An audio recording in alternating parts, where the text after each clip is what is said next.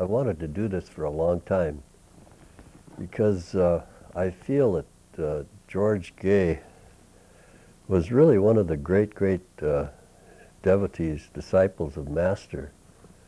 And uh, I feel also that he, he was a realized Master, you know, before the end of his life. He was a great being, and uh, certainly one of the most unrecognized ones that uh, I know of, really, except there, there's a small group of us that knew him well. I don't know how well we knew him, but uh, we knew him well enough to know that he was not just an ordinary person.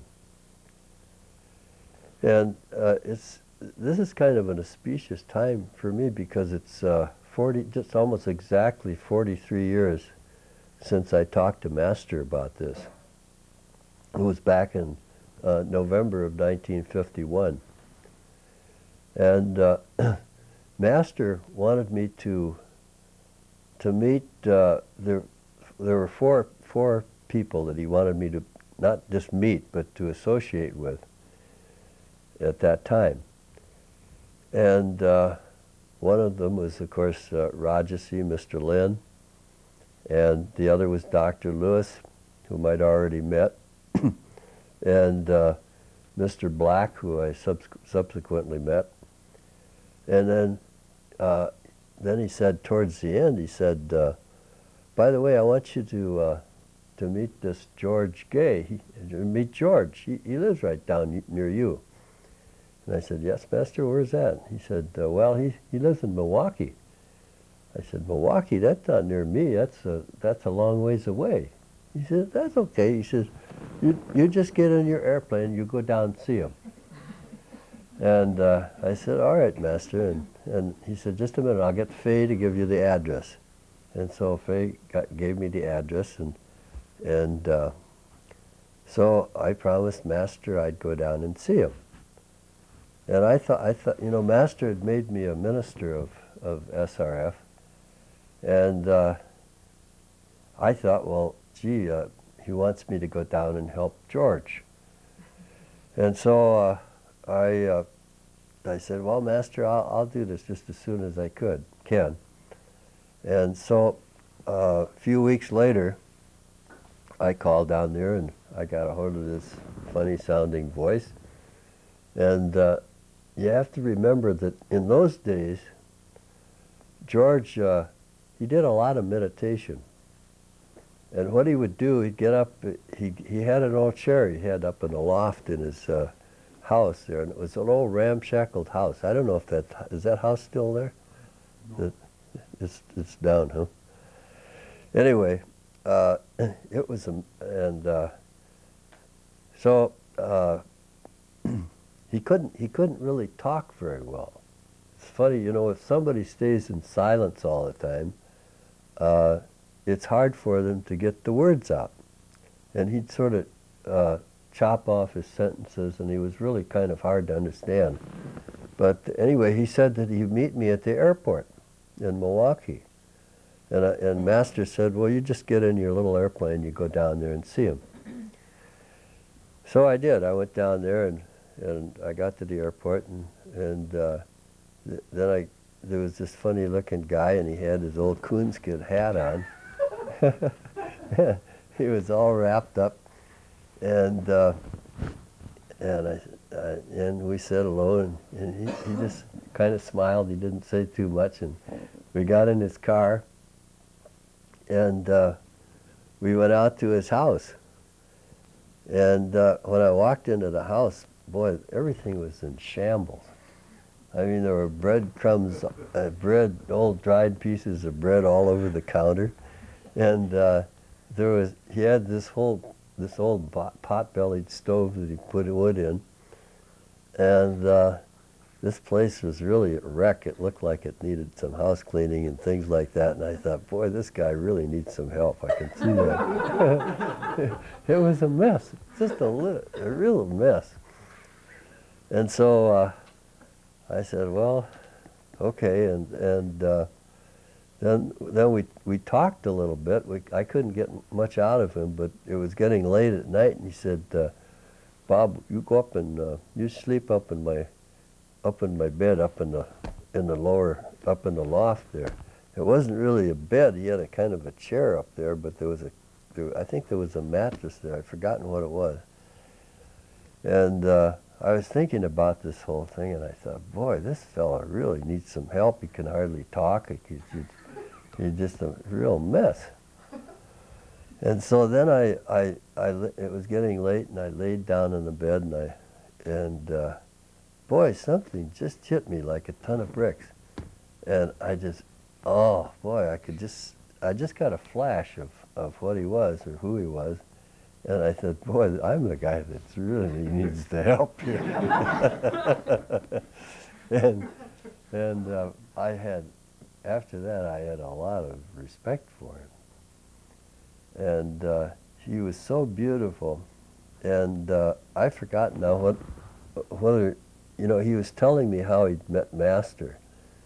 And I think a lot of you probably heard this story, and as I remember it, he said that he was walking down the streets in Milwaukee one day, and uh, he saw this uh, funny-looking guy coming towards him. He, had a cane and he had kind of a turban on his head. And he was walking towards him and mas Master was just, you know, Master was coming down towards him and he just staring at him. George was staring at him and, you know, and his eyes were glued on him.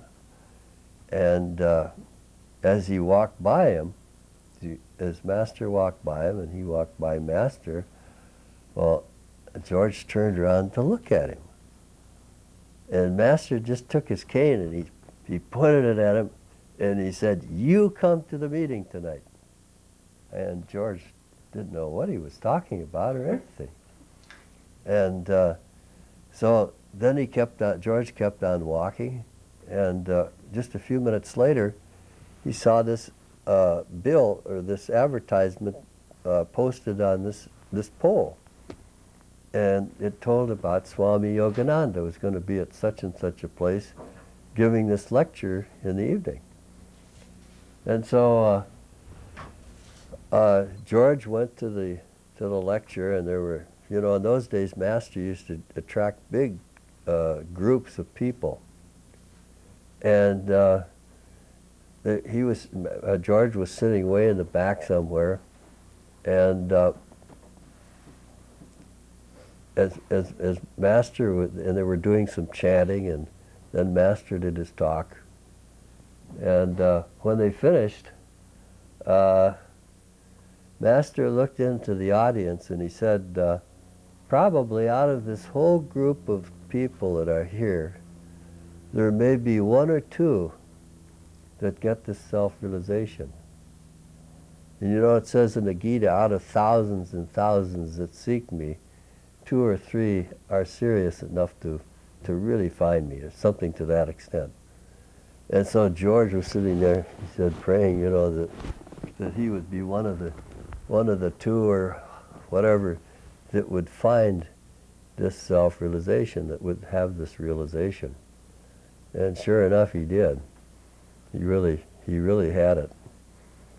And uh, I had so many wonderful times with him. You know, there weren't uh, there. It's all kind of a blur right now with, with all all the things that we did together. But he would he would come up to Minnesota, and then we'd ride out in my airplane to the to the convocation in in Los Angeles. In those days, there were probably two two about maybe a hundred people at the most, probably seventy five people.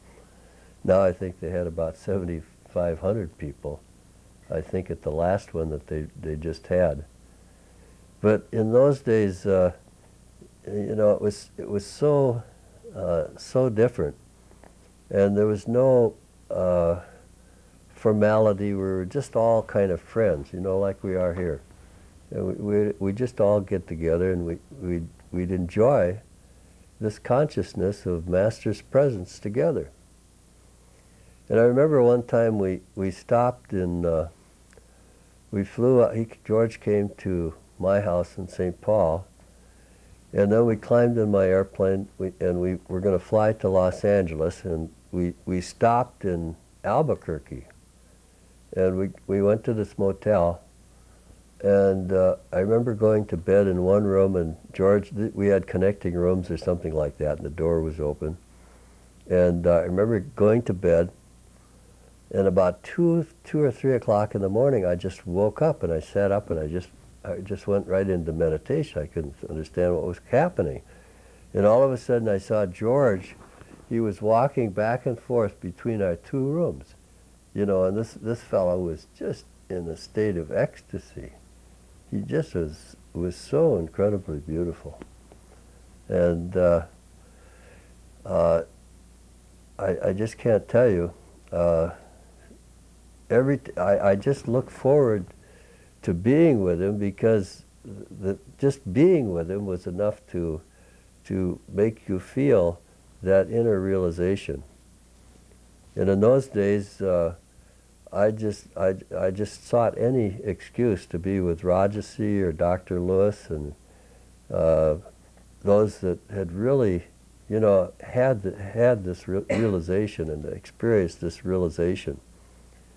And uh, so George was was so very very special, and uh, such an incredible being. And uh, I, I just uh, I just feel that uh, I think now is the time for him to be really recognized in this in this world.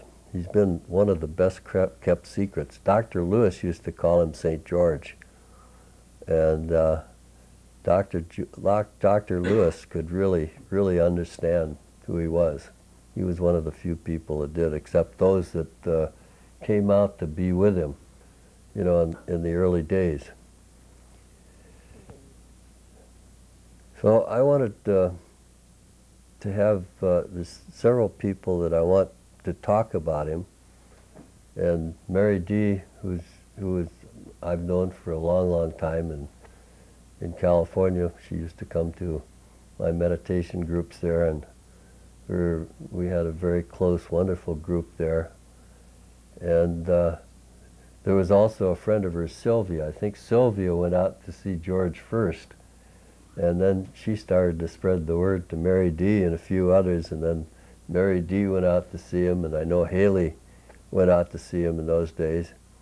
And uh, so I'd like you to come up, uh, Mary Dee, and, and uh, tell us about, you, you've spent a lot of close time with him because you lived with him, I think, or lived around there for a long oh. time.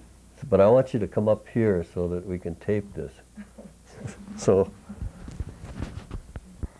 Well, I, I've been, ever since, I'm just, first of all, I want to say I'm, how thrilled I was to be invited and how wonderful it is here to, to be here with all of you. Uh, Dr. George was such a special, special person that I hope that um, that we can really do him honor today because he deserves more than the stories that I can tell. Nevertheless, I, I, um, how I met him was um, at Bob's. Bob had been talking about this man that he had known um, in his early days on the path, and he said, you know, he has gone farther with this than anybody I've ever known. And he's going to be coming here, I don't know exactly the date, but when he comes, I want you all to be sure and come because this is a rare privilege for you to meet him. And um, I was, you know, thrilled to, to hear that and wanted to come. But uh, the weeks went by and we didn't get any word about it. And then um, I had seen some notice in the paper about the East West Cultural Center was going to have a seminar on dream analysis, and I thought, oh, I really want. I've been getting some really strange dreams, and I really wanted to go to that. So um, that was on Wednesday, and that was when we all went to Bob's. But I thought, well, I'll miss once, and I'll go. that afternoon, Don Marginson called me and he said, Mary Dee, you going to Bob's tonight? And I said, no, I'm going down to the East West Cultural Center. They're having this dream class. He said, no, you're coming to Bob's. And he just was so insistent that I come to Bob's. And so I did. And Dr. George was there that night. And when he walked in, I mean, we were just all overcome. Dorothy said she was sitting in the back and he walked up behind her and she was just enveloped in this all-encompassing love. And that was what I remember most of all about Dr. George, that you just loved to be with him. No matter what he was doing or where he was, you just wanted to be around him. Because he had this love that just reached out and held you in. And um, so that night, after both Bob talked, and I mean, we always came away from Bob's very high with just Bob there, but that night and Dr. George there, and I think Mildred Hamilton was there. It was, it was a, I mean, we were all sky high. And um, previously, Muktananda had come and had had a series of early morning meetings, and that I had missed because I didn't know that I could come. And Bob had said to me once, um, why aren't you coming to the meetings? And I said, gee, Bob, I thought that was just for a special few. I didn't know it was welcome. You get yourself up here in the morning, so I did. And since that had just happened, I thought, I'm not going to miss this. So I went up to uh, see Dr. George. And um, I just fell in love with him immediately. I would have followed him anywhere. And he said, sell all your things and move to, move to Wisconsin. And sure, it was just like that was nothing. But um, later, uh, as I was getting ready to go, and uh, I made a couple of trips back there first before I actually moved. I, that was in uh, 75, right after I'd lost my, my brother, who was my closest friend, and next to me in age in the family. And um, I really, you know, was needing some help and support that that kind of being can give you. And um, Shirley, Shirley Winters, anybody, Shirley Winters came, and the two of us went up to see you at the farm. And um, those funny buildings there that, you know, later we figured out that when we were working on those old buildings, we, he was working on our egos. so, um, but we spent the last few days laughing at, every, at everything. Was so funny just didn't fit the spiritual mold. You know, you expect these placid green fields and beautiful flowers and everything, and it's just... Anyway, we loved being there anyway. You just, you just couldn't, couldn't help but just want to be with him. And, um, let's see.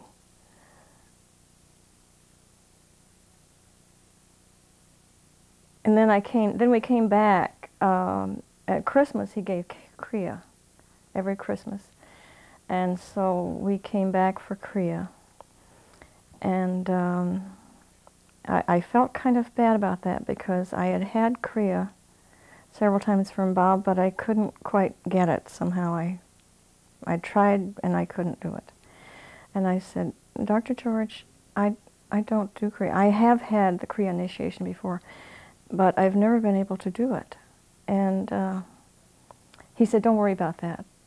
I want you to come. When you're ready, you'll do it. It'll just happen. So, okay. So we were, we were there for Kriya, and that was also a wonderful event. And then they went back, and then that was when he kept saying, you know, when are you coming? When are you coming? And uh, we were out on that trip uh, we had gone up to the farm and um, we'd all gone out for pie and coffee. and we stopped at this place, and somebody said to me, Mary Dee., when are you moving up here? And uh, I kind of hesitated. Dr. George said, April. so I said, I guess I'm moving in April. so uh, just before it was time for me to come, I thought, my God, what have I done? I've quit my job. I, this fear just overwhelmed me.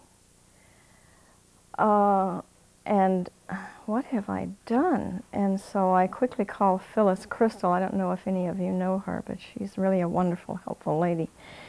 And she does a kind of reverie um, that goes in and gets to the bottom, whatever the problem is. And uh, in fact, she's written several books about it, which I highly recommend, called uh, Cutting the Ties That Bind.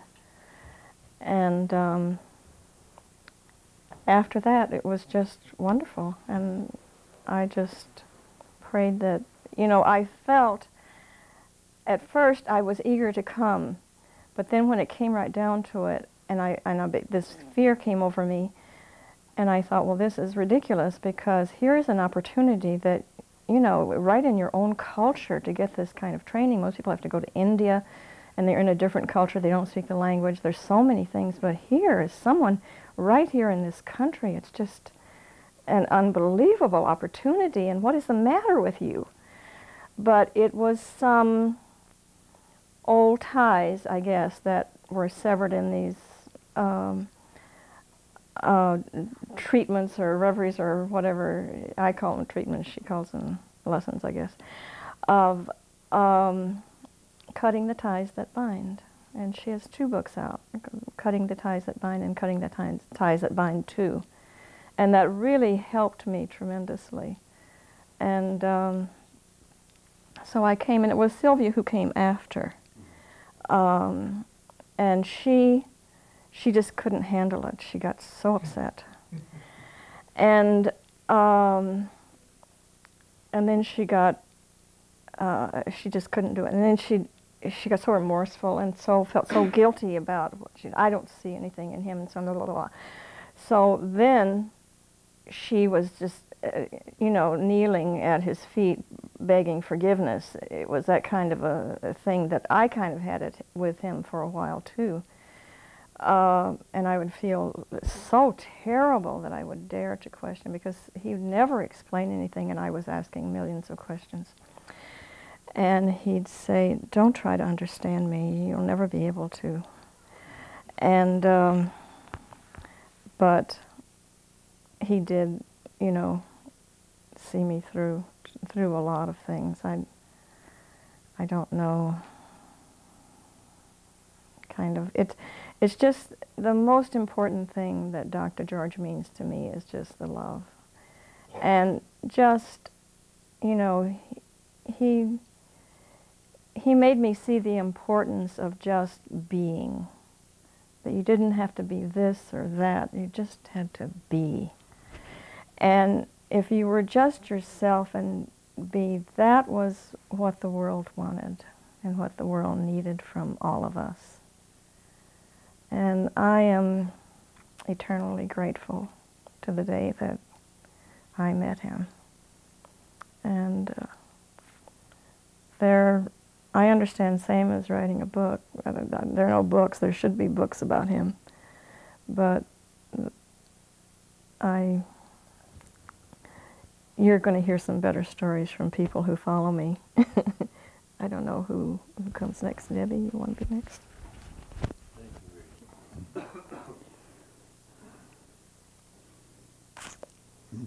Far as I know, Dr. George was born about 1910. He was pretty vague about it. His mother died at birth, and then his father remarried, and then his father died, and then there was another, a couple more marriages there. Pretty soon he was on the streets at eight years old. We tell you that because anybody can go. Anybody can do the work. It's opportunity is always there. He uh, remembers, he said he remembers being in his mother's womb and kicking like heck because he didn't want to be there. He didn't want to come back. And he remembers at two years old, he had a vision of himself. He saw himself with doing his work at the end, but he kept waiting and waiting and it never seemed to happen. He tried twice to start a church and it wouldn't start. So the third time, he had his first place of worship was an old barn, small one, but it was old. Had a dirt floor. He had an old, the guts of an old furnace for heat. And he had a, the altar was built out of uh, charred timbers that he'd gotten out of a fire. And he had the pictures of the masters on the altar with old rusty paint cans. And at the end of the altar was uh, an old used toilet. Why, I never did know.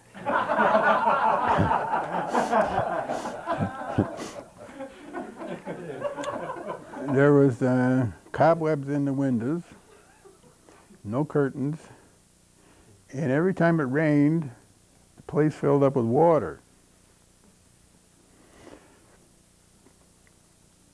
It was uh, he would always call up and we would get a crew together and bail water. We had carried out, the, it was in a little hollow, we carried that out. We couldn't get it all out because it had a dirt floor so it was muddy anyway. We could put cement blocks around and a planks and then you grab a floating chair and, and if you couldn't sit cross-legged you were in trouble. Yeah. And uh, there was a, his house was about 50 feet away and there was an upper porch on the house. And after we would have a service, we would go to this upper porch and have a little hot chocolate, and he would talk to us. In the summer, that porch was very hot because it was all glassed in and quite drafty, and it was hot and full of mosquitoes. And in the winter, I remember looking at the thermometer one day, and it was 10 below in that room. And here we are, all with our coats on, listening. And he, he never did say much. He never taught with words. Very rarely. A little bit, but not much. Mostly it was consciousness. One day it rained pretty heavy, and uh, I said, I called him up and I says, are we going to bail water today? He said, no, not today. He said, uh, Blessed Mother, or Divine Mother, he said, said that's enough of that. We don't have to do that anymore. And there was never another drop of water, not a drop, ever again. And I know three people were there when we tore that building down to look for, see if somebody come in in the middle of the night and put tile around. And there was never any tile. So that was the first experience I had with him. But he told me once, he said, I meditated five hours a day for 12 years, and he says, I was doing it all wrong. And he was probably doing everything we're doing right now. The kriyas and the meditations and the chantings and so forth. But five hours a day, I was doing it wrong. 12 years. You see, my opinion is he wasn't doing it wrong. He discovered the next step. See, he discovered another step, a different, a different mode. And when I first met him, he wore his socks wrong side out. He wore argyle socks, a lot of threads hanging out, and they were they were different colors. And he pinned his coat together with a big pin. He hung. He used to wash his shirts out in the sink and just hang them on a chair, put them on, wear them. Wore his, he always wore his watch on the outside of his shirt. He had a ring that he would wrap with white string because it was too big for him. In other words, he had no social conscience whatsoever. He didn't care. Not at all. So why did people come there? That's the big question. Why did they come? The answer is magnetism. What produces magnetism? It's produced by two things.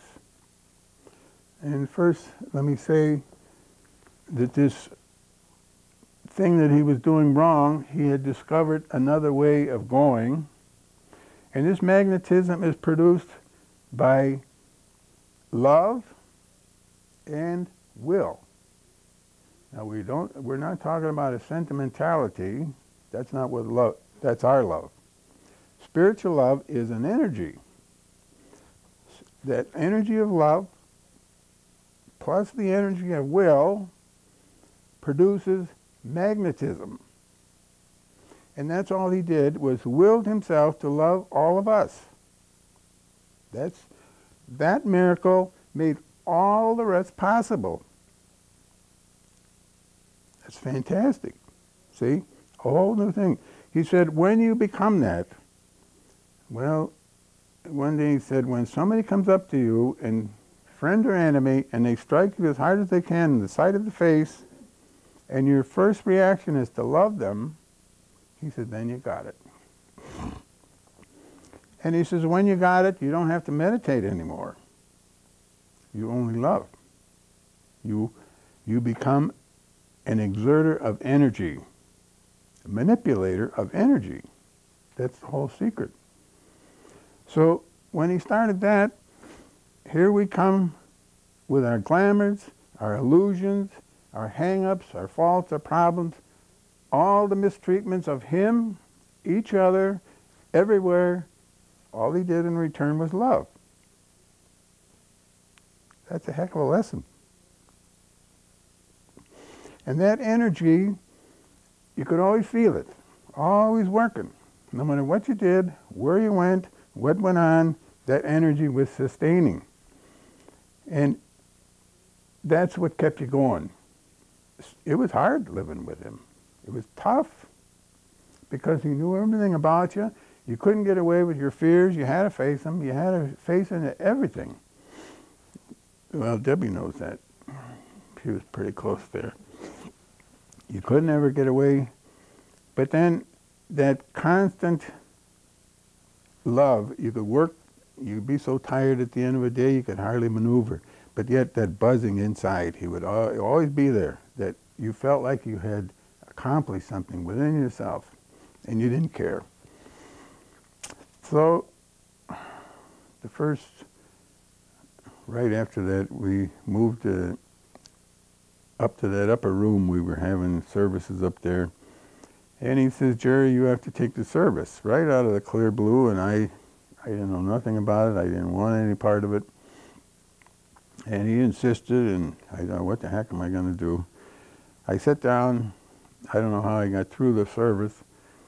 But at the end, he always went to the door and stood there and blessed everybody on the way out.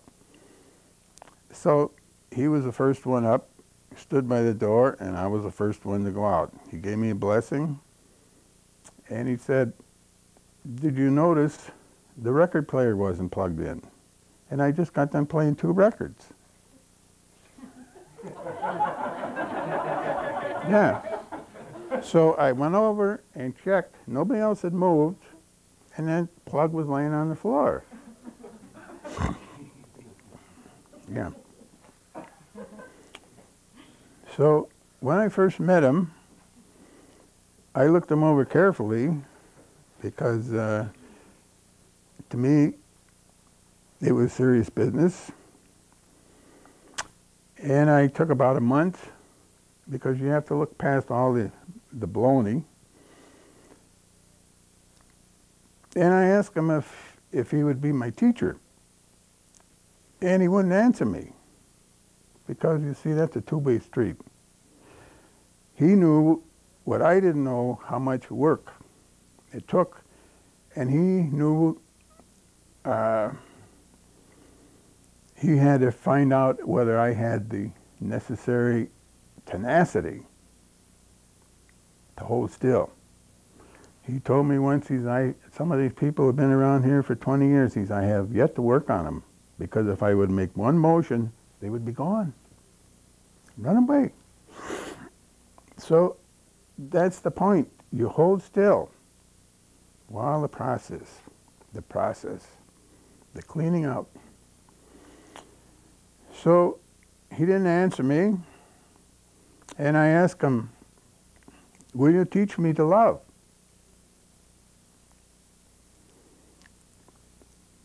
And then he said, Through me, you will, you will learn.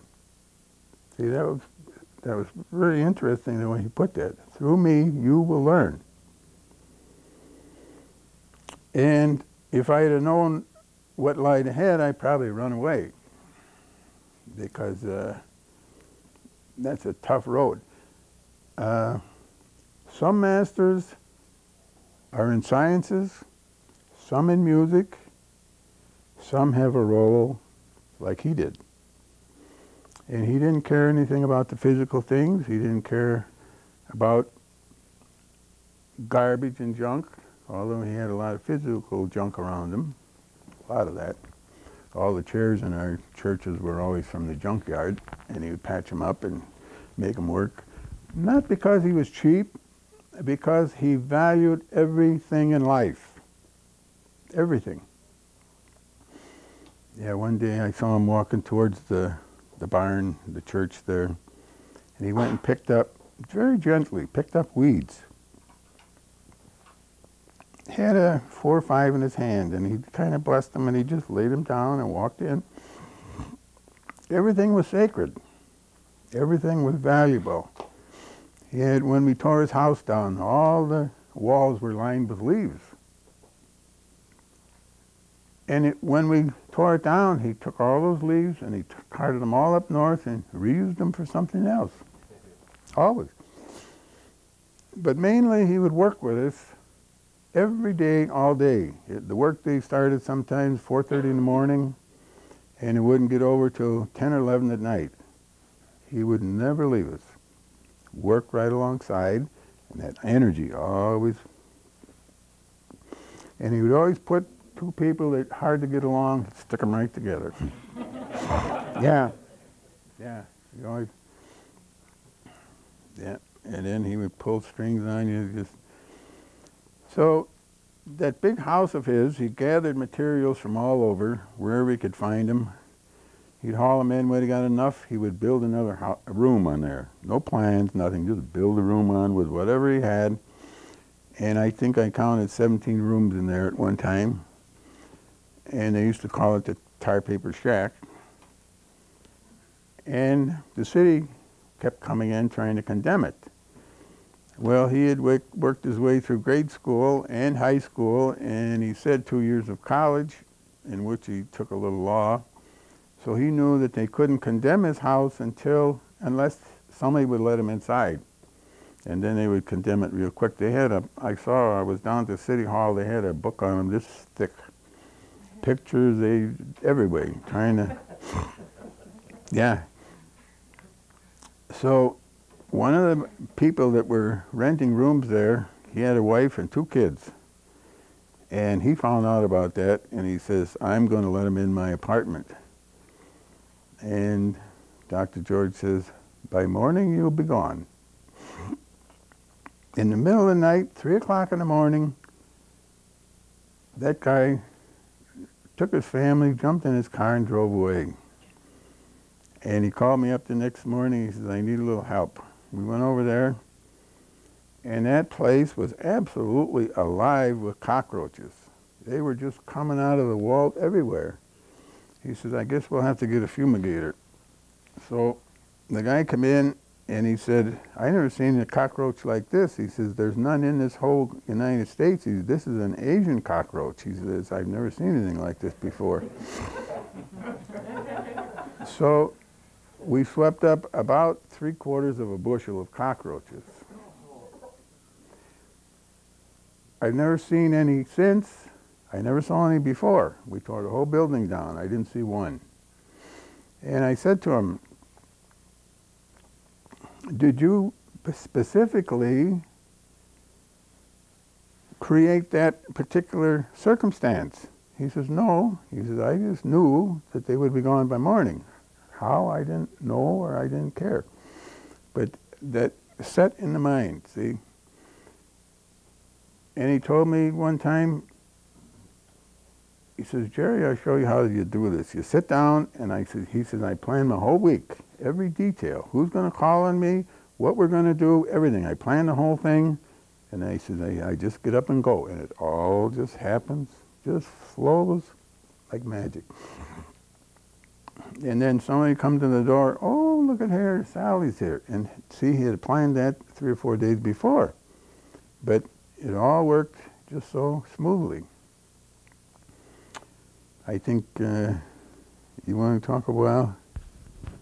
Yeah. Passing for a specific reason, because she was with him the most. But his last experience was uh, what they call, in my opinion, what they call the crucifixion or the great renunciation, wherein every organ of his body was affected. Every single one. He had yellow jaundice. He had, they, they tapped a gallon and a half of water out of him. His stomach, everything. And of course, that's, that's a process. And I said to him, he checked himself out of the hospital. He was skin and bones, just a rack of bones. I don't think he weighed 60 pounds. And he says, I want to go to your house for a couple days, which he did. And uh, I said, all the organs, every organ in your body's been affected so far. He says, yep, except the heart. He says, and that goes tonight. And that's where I think Deb can tell you more about that. Well, I wanted to start at the beginning, and I think I will. Um, when I was when I was 20, and I was in college. Actually, it was after I was in college. It was a summer vacation. I went out west with a couple girlfriends. We hitchhiked out there, and I met a very beautiful young man who, in Oregon, who took me backpacking up into the mountains and uh, the Cascade Mountains in Oregon. It was very beautiful there. And the whole time we were up there, three or four days, he talked about Yogananda, and he had a little book, Metaphysical Meditations. He read out of that every day to me. I had never heard of him, and uh, it was very beautiful. The time I spent with him was very beautiful. And that, that was part of my college summer vacation, and I came back and um, I, I got a job and found out uh, about a year later that the Moody Blues were playing in Milwaukee, and I had a friend who was a fan of theirs, and I said, would you hitchhike there with me and we can go see them? That was my reason for coming to Milwaukee. And uh, we spent the day getting there. And someone dropped us off down at the lake. There were some people in a little VW bus there, and, and we just, we'd been in cars all day long, and we finally got there. We were relieved to be there. And these people came out of their little VW bus and said, Oh, you must be new in town. Come and sit with us. We'd like to talk to you. Where are you from? And I really wanted to go see the water, and I, I didn't want to sit in another vehicle, but the friend I was with was a very gentle and um, polite soul, and he nudged me and he said, Sure, we'll, we'll come and sit with you for a while. And it ended up that the driver of the bus was a member of Dr. George's church, which at, at that point I didn't know. They gave us a tour of the city, and, and at the end of the tour, they said, um, Don, let's take him to the church. Yeah, that's a good idea. Let's take them there. And they drove us to Dr. George's church, which from the outside looked like a little humble cottage or home. It was very unobtrusive and in a neighborhood with humble homes. It didn't look too much like a church. It was pink. And we went inside, and, and uh, I'd never seen anything quite like that. It had beautiful little humble curtains on the windows and little pillows on the, on the pews, and all the pictures of the masters on the front, which I recognized Yogananda from the person who had introduced me to, to Yogananda's teachings. And um, naive as I was, I walked right up to Dr. George's chair and sat in it and looked through the books that were on the table next to it, and there was Yogananda's book again. And the people who had brought us there had their eyes closed and were meditating. I didn't know very much about meditation, but boy, I could feel something in that church, and that there was that picture of that master again. And the person who had let us in, the owner of the bus, had he had the key, and I thought, well, he must know something about this place. So the rest of the night, I questioned him quite a bit, talked to him, and he ended up putting us up for the night. He had a copy of the autobiography on his coffee table, which I decided I better read this book. It keeps coming to me. And uh, he he took us to the concert, brought us back, gave us a place to stay, and drove us out of town to a good place to hitchhike back home from. And I asked him for his name and address and began corresponding with him. Right after that happened, he, he, he was a member of Dr. George's church, but he moved in with Dr. George right after that happened. So I was corresponding with him at Dr. George's house. And I had a million questions, and uh, he had very good answers for me, and it was very intriguing. And I said, I'd like to come down on my spring break. I'd like to come down and have a little visit there and see what you're all about. So I did do that, and I, I met Dr. George very briefly. Um, he blessed me on the way out of the church, but I didn't have much contact with him. And subsequent to that, I had some very interesting dreams. Um, I was going to go to Europe. I was going to spend my next summer in Europe, and I had saved up for that. But I had this dream that I was, I was walking through a park in Paris, and there were four paths converging in this park. I was on one of them. And off on one of these other paths, there was a park bench with the sweetest old man in an overcoat sitting there. And as I was walking, I, I couldn't help but notice him, and I, I was impelled to walk over and see him. And he said, Sit down, I've been waiting for you. And I sat down, and he had this part I never figured out. He had two brown paper packages under his arm, two, two bundles wrapped in string. And I said, Well, what have you got there? What is that? He said, Oh, those are for you. I said, Well, what is that? He said, Yeah, those are for you. And that's all he would say about it. And that was the end of the dream, but that dream stayed with me for a long time because it wasn't like a dream. It was like I was I was there with that sweet little old man and he was so sweet. He had a sweetness that I couldn't resist. Well, a little while after that, I, I had another dream, and uh, I saw the high, high-rise bridge in Milwaukee, and there was a body of water under it, and I was in that body of water on a boat with Dr. George, and he was standing up with a megaphone yelling, stroke, and I was rowing the boat. there, was, there was another passenger in the boat, but I was doing all the work. And uh, it was very strenuous. And, and he just kept looking at me and telling me to stroke, stroke, stroke. A very strenuous dream. I think I woke up tired from that one. and and the, he had a power. In that dream, he had a power. It wasn't the sweetness, there was a power there. And in fact, I think he looked like Yul Brynner in that dream, which was a person I associated with a lot of power at that time. And uh, shortly after that, in my correspondence with Don, he said, You're so interested in all of this. Why don't you come down here? Why don't you move here and spend some time with us? We have a, a retreat up north, and we're doing some carpentry there. We could use some extra help. And uh, oh, I thought, oh, well, I live here in Minnesota. I'm not going to Milwaukee. But uh, eventually, that's that's what I decided I was going to do. I began saving. Instead of going to France, I was going to go to Milwaukee, and I would try it out, and I'd see how how it went and how I would like it. And I had visions of people putting up barns and working together like the Amish do, and, and I thought that could be a lot of fun. I'll try that for a little while, and if I like it, I'll stay.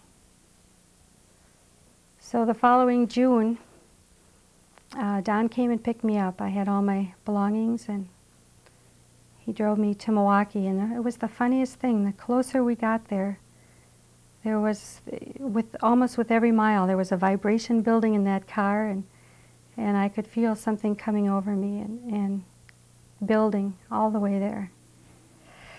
And we pulled into his driveway. He was out, uh, he and another person were un- unloading some things off of a trailer he had brought back from up north. And uh, he said, Oh, oh, you've come. He said, Where are you going to stay? And I said, Well, I have enough money to find my own place until I can get a job. And in the meantime, Don said I could stay at the church. He said, You stay with me. And I said, Oh, I, I couldn't impose. I, I, I won't do that. And he looked at me and he said, You stay with me. And I knew there was no saying no, so that, that's where I ended up. I, I, did, I did stay with him, and I didn't stay for a couple weeks. I stayed for seven years until he passed.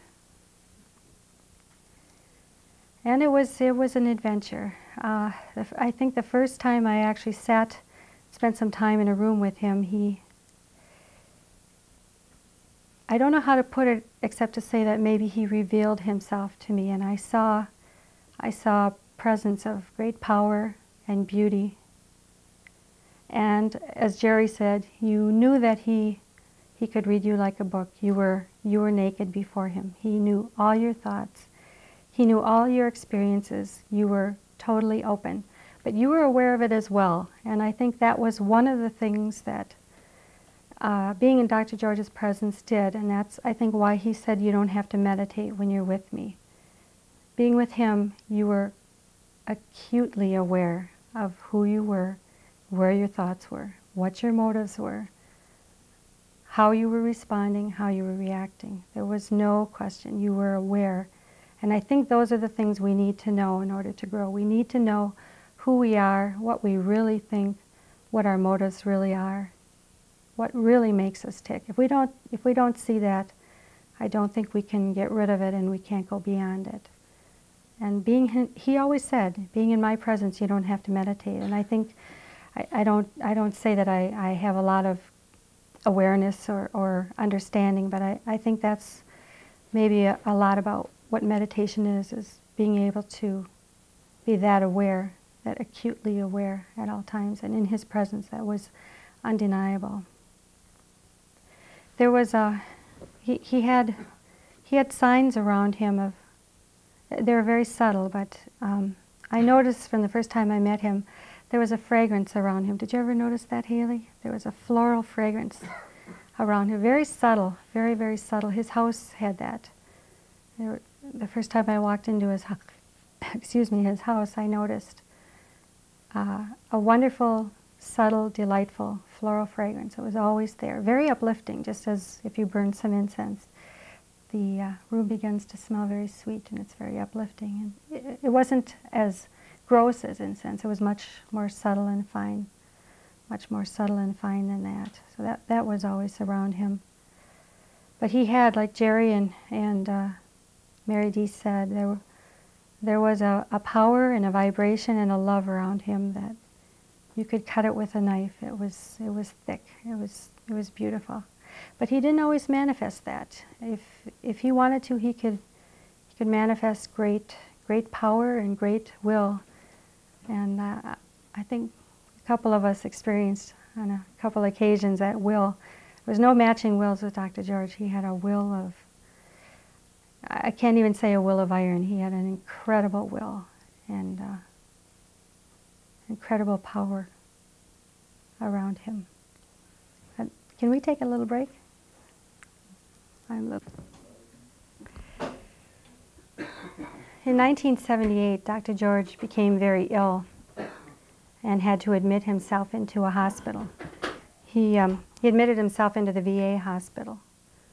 He had been in the Army for a couple months after, after college. ROTC paid his college expenses.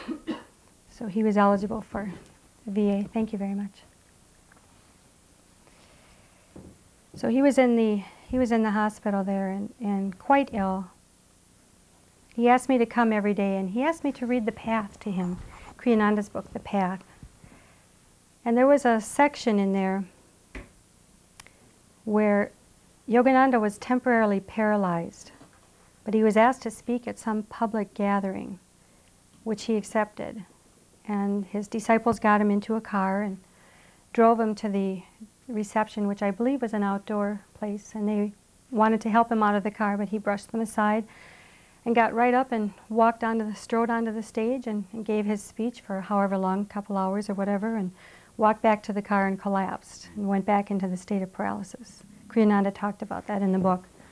And I was reading to that, reading that to Dr. George one night, and he said, he wasn't paralyzed. He wasn't sick. He was taking on the karma of his students. He was helping his students. That's what that was. And then he was quiet for a minute and he said, if Yogananda can do it, I can do it. And I knew that that's why he was there. That's why he was ill. So I came and read to him every day until we finished the book. Towards the end there, he, um, he had developed pneumonia and he was having a very difficult time breathing. And he uh, seemed to be unconscious and somewhat delirious. And they had him sitting up in the bed because I think with pneumonia they have to drain the liquid so you can breathe, you have to sit up. And he was sitting there uh, delirious and, and looking very ill, and, and I was in tears. And all of a sudden, he looked at me, he grabbed my hand and looked at me, and he said, You are the Christ, you are love, repeat it. And he, a power went out of his eyes into me, and, and, and I, I was shocked out of my, my emotions, and I, I began to repeat that mentally to myself and sit next to him and repeat it. And I think I did it for an hour or so, and I got tired and, and stopped. And, and here he was, all delirious and, and sitting there. And all of a sudden, he sat up and he said, I didn't tell you to stop. so again, I, I think I was there five hours, and I think he made me do it the whole five hours. And uh, my head was swooning. I had a headache and I was fighting off the emotions for the state that he was in. And then the nurse came in and said, It's time for you to leave. So I got up, and the room was dark. It was evening. It was May, and, and uh, it got dark around 7 o'clock or something. So the room was dark, and I started to leave the room. And over my shoulder, I heard, Debbie. And it sounded like music. I don't mean that it was sung, but the tones were like music. And I turned and looked over my shoulder, and the room was all light. And Dr. George was Dr. George was hovering above the bed. And he didn't have the same clothes on. He was robed or something. And he looked into my eyes. And he said, I love you. And there was a blue, like an ocean, that came from his eyes. I don't know how to describe it. But he very rarely would look into your eyes he, he hid his, his greatness. Most of the time he was very humble. But my eyes met his eyes, and there was this, like a blue ocean. It was astral, but it, it's the only way I can describe it, like a blue lake or a blue ocean between us. And there he was shining. And the nurse said it from the other station, it's time to go. And I had to walk out. And that, that's probably the most unique experience that he gave me. Um, he had told me a couple weeks before that, before he got very, very sick, that every morning at 3 o'clock he went into samadhi, into the breathless state. And no one was around, and they didn't bother him, and they didn't know. They thought he was just sleeping. And he would go into samadhi every morning from 3 until 6 when they came in to get him up. Well, the next morning, we got a phone call about 4 o'clock. Dr. George passed. And I, I said, thank you for the call. And, and I thought to myself, he's in samadhi and they just stumbled upon him and they think he's passed and he's not. But, but it was true, he had passed. So that was his, his final blessing to me was that, that vision of whatever it was. I, I still don't understand it, but it was, it was quite beautiful and quite different from the man I had left a few seconds ago, sick in the bed.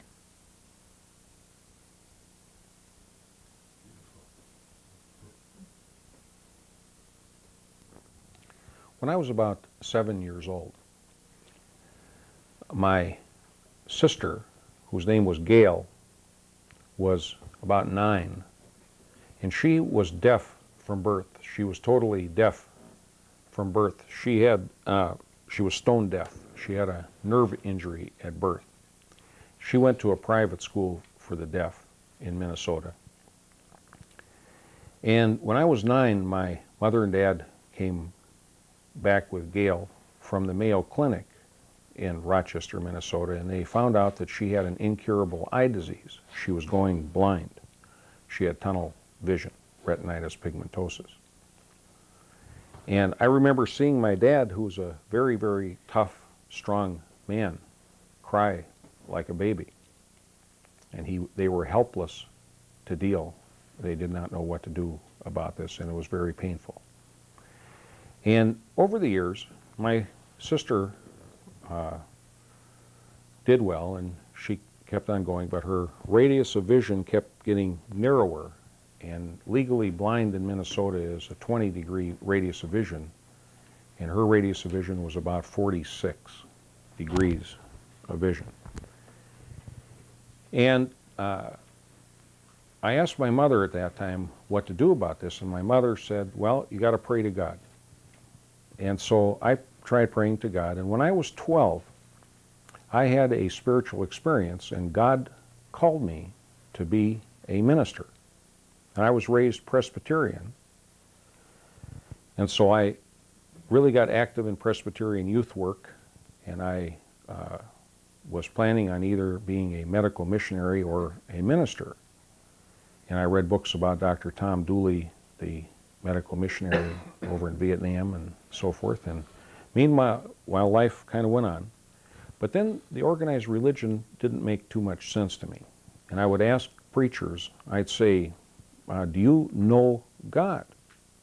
And they would say, well, you got to believe in the Lord Jesus Christ, you got to believe in the Bible, and so forth. And I said, well, I don't have any problems with that, but I mean, do you know God? You would think, you know, that you could know God, that nothing else makes any sense.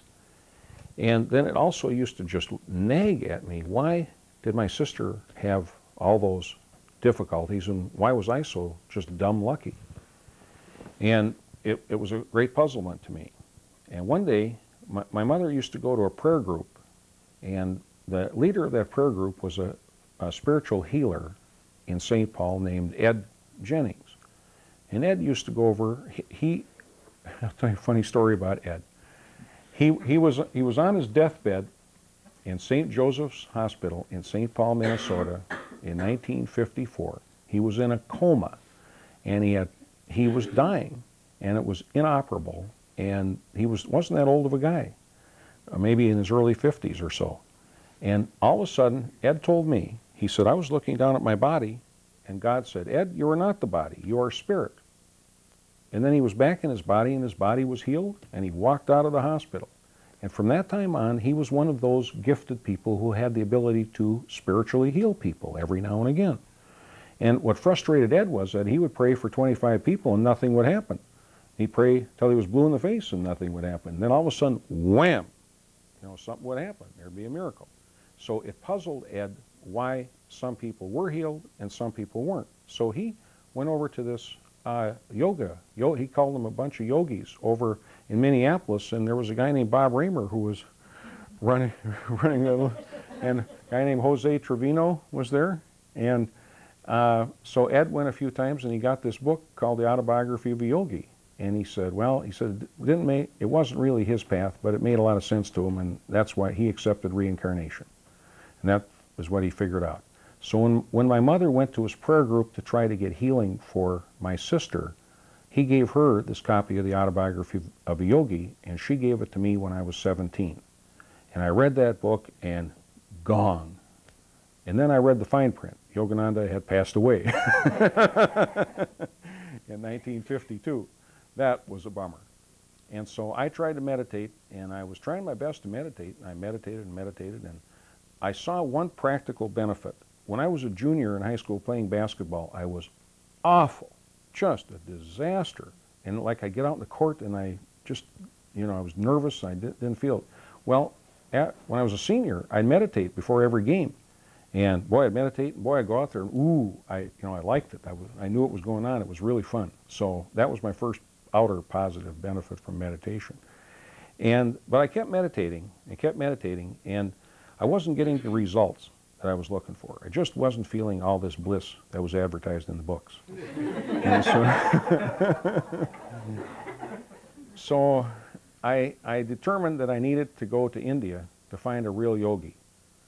I, Gail and I took, Gail was interested in metaphysics also, and Gail and I took the train to Chicago in 1964.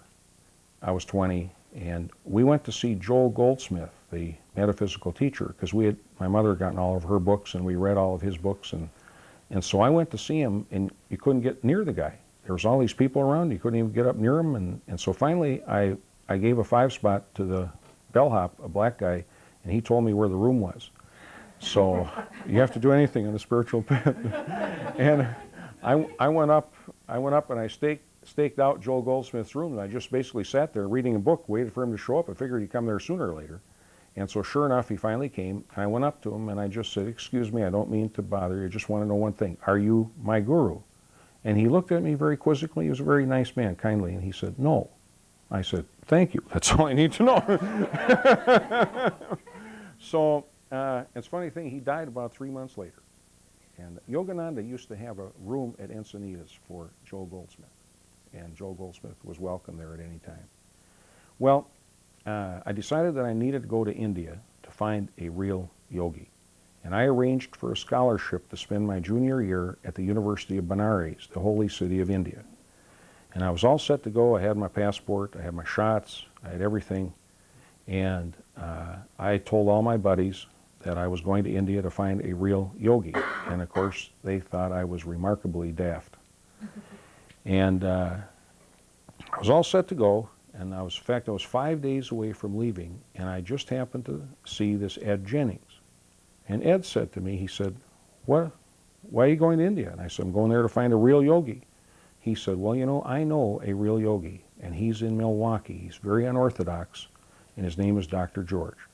And he said, he healed my wife of alcoholism.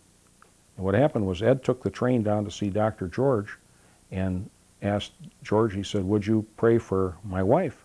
And Dr. George sat him down there, and they didn't move a muscle for two hours. He sat, and then Ed, uh, Dr. George got up and tapped Ed right here. And he said, your wife will be okay. And Ed said every time he closed his eyes on the train back, he saw a white cross in front of his uh, forehead, and his wife was healed from the booze. And uh, I verified that with her years later, and she had never touched, never touched a drink after that. Well, I said, where is this Dr. George? And all he knew was his name, uh, Dr. George. He didn't know his last name, he didn't have a telephone, and he didn't know his address. So I figured, oh well, Milwaukee isn't that big, I'll find him. So I, I got him. I, I, I got him, got in my car and I, I drove to Milwaukee and I drove all night and I got in about six in the morning and uh, I stopped at this near the Wisconsin State Fairgrounds on the, on the interstate there and I went and had a cup of, uh, cup of coffee or something and a little breakfast and I went to the payphone and lo and behold, the Infinite Way, Joel Goldsmith's group was listed in the phone book. And I called that person and that person said, uh, do you know what, I said to her, do you know a Dr. George? And she says, oh yes. She says, uh, but he doesn't have a phone, but I'll give you the name of, of his assistant. His name is Jerry Neal. And so I got Jerry's number and I called Jerry and Jerry said, well, yeah, uh, he says, uh, he's on his way up to Friendship, Wisconsin. And I says, where's that? So Jerry gave me directions over the phone and I drove up to Friendship, Wisconsin. I got there about 11 o'clock and there was, I found this place and it was the darndest looking place I ever saw in my life. and uh, so, and so I, I sat there and, and I waited all day. I waited and waited and waited and drove into town and had my last hamburger on this earth in Friendship, Wisconsin. and uh, finally, about 6 o'clock, Dr. George showed up. And he had this big, huge concrete pipe on a trailer with an old green pickup truck. And he pulled in and uh, I took one look at him and gong. That was the second gong in my life. The first one was reading Yogananda's book, and the second gong was taking one look at Dr. George. And so I helped him take that concrete pipe off, unload this pickup truck, And I was thinking, what in the world is all this stuff in this pickup truck? There was probably at least 25% of all the artifacts in the history of the human race in the back of that pickup truck. And we loaded them into a building in which was the other 75%. So I figured, oh, well, what the heck, you know, I mean, this is the yogi business. And so, uh, and so that night, right, that night was the first time in my life that I felt what I was looking for. And I knew that I had landed a real one. So the next day, I said to Dr. George, I said, I would like you to be my teacher. He said, no, no. He says, I think you should go to India and find a real yogi.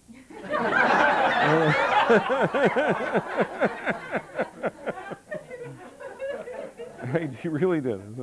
So I started to argue with him, and, and uh, he says, You're weak emotionally. He says, You don't know anything about life. And I said, Well, I says, You know, I mean, I'm not that weak. And so, you know, so I argued with him and argued with him, and finally he kind of smiled, and you could always tell when Dr. George, Dr. George, like no other being on this earth, uh, with a possible exception of Sai Baba, Dr. George, he had that gleam, and you know what I'm talking about. He got that gleam, zzz, and you could just see. And he said to me, he says, Yogananda sent you to me. I knew you were coming.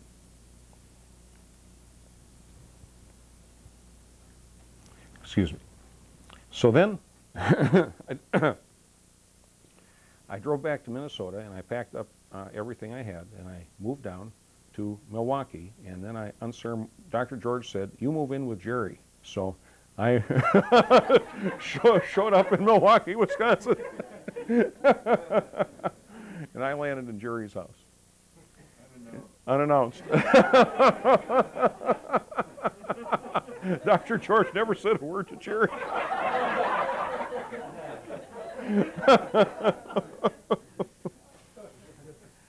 so uh, now, back to my sister. When she was in this school for the deaf, there were about 30 students in this private school for the deaf. And there was two old maid sisters, Faye and Dina Allen, who taught a revolutionary method of uh, deaf education. They taught them to read lips and to speak. So when you communicated with my sister, you talked like this, so she could read your lips. And she never learned the sign, sign language. And uh, she, she told my mother and I uh, for a long time that she said whenever she was very lonely and things were very, very hard for her being away from her family and her concern of, you know, just, I mean, how, how would you like to be deaf and 11 years old and, or whatever? She said that this very kind man would stand at the end of her bed and he would tell her, I don't know if I'll be able to get this out. he told her, I love you, and everything is fine, and you are all right. And he would just take care of her.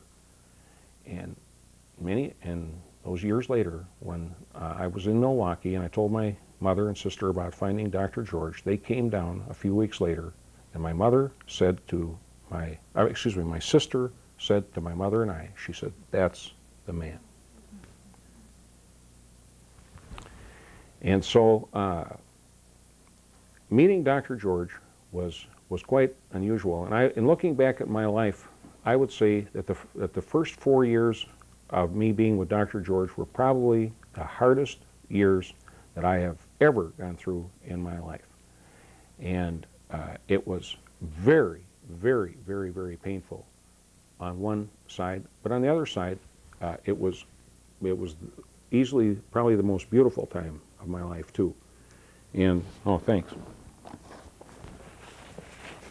And Dr. George uh, was just unbelievable, and he was so unusual.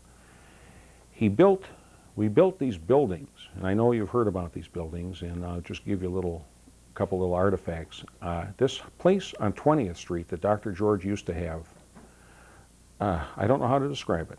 And he built this place in the 1920s and the 1930s out of used lumber, used nails, used anything he could find. It had absolutely no, it was totally and completely ramshackle with tar paper here, tar paper there, uh, every roof, roof in the whole place place leaked. He had concrete basements, cement block, this, that, and uh, he absolutely met no building code on earth.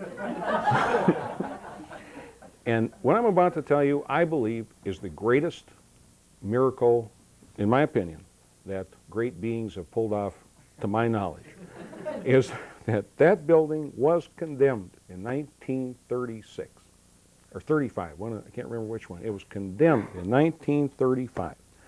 And you know, my uncle used to be the head building inspector in the city of Minneapolis, and those building inspectors and health departments, they have more power than God and two presidents. They really do. I mean, you know, flick of the pen, bang, it's gone.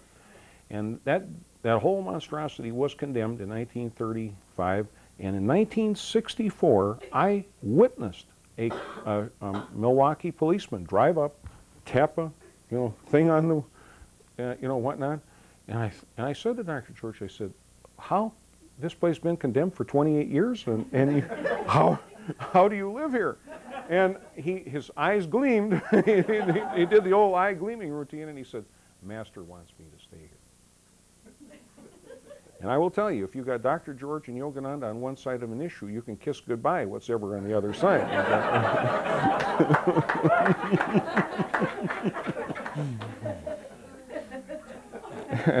I mean, that, uh, and they built this brand new junior high school right across the street. And now where this place was, was 50 blocks south of downtown Milwaukee. Now, this is in a major city, 50 blocks from downtown. And uh, they built a brand new junior high school right across the street. And Dr. George was real concerned about the kids going through there, not that they were going to hurt anything. He was concerned about them getting hurt, you know, and so forth. Because, boy, if I was a kid and that place was across the street, you got to be kidding me. I would have been looking all over that place. But anyway, uh, Dr. George said, I wonder what I can do about getting, keeping these kids out of here. And he said, find me a hammer. So I went and I've got him a hammer. And he looked and looked around. Oh, this junk. I mean, every single thing. And he's, he's looking. And he finds the most moth-eaten old cap you ever saw in your life. You know, shakes off the dust. He says, give me the hammer. So he puts the nail. He used to put nails, you know, in his mouth. He goes up and he finds this tree. And he hammers that cap in the tree. And then he smiles and his eyes gleam and he says, that'll do it. And I will, and uh, never ever did another kid go on that property until, and I have, I have never ever, I have never figured that one out. When I went bankrupt, I was when I was when I went bankrupt years ago, I was thinking maybe I could put a cap up on my tree in my front yard and keep the bill collectors away. You know?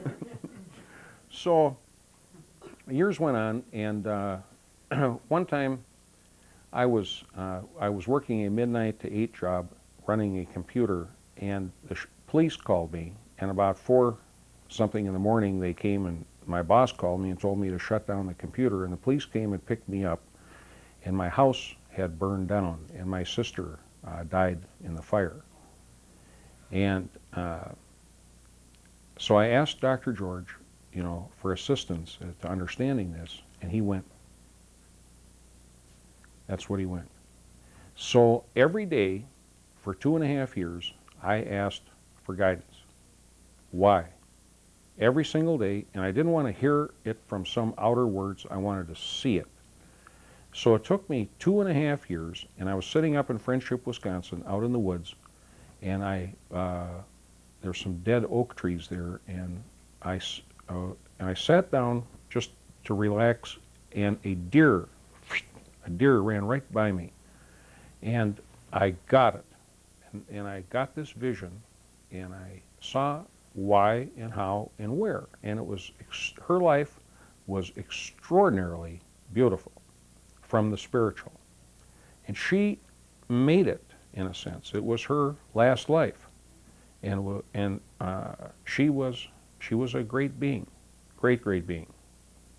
And she said to me at that time, she said, I always want you to view me as uh, completely perfect. And she said, I never want you to be sad about that life. It was beautiful. And so ever since then, uh, she is extremely close to me uh, on the inner plane. and I will tell you, anytime I've had problems, uh, she uh, has always helped me. And uh, the next spring in 1968, uh, in March or April, I got this premonition that I was going to die.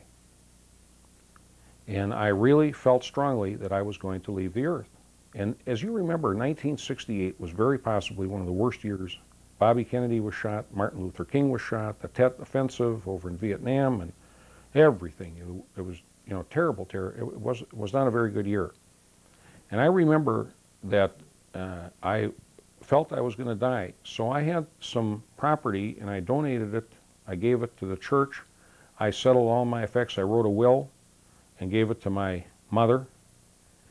And uh, in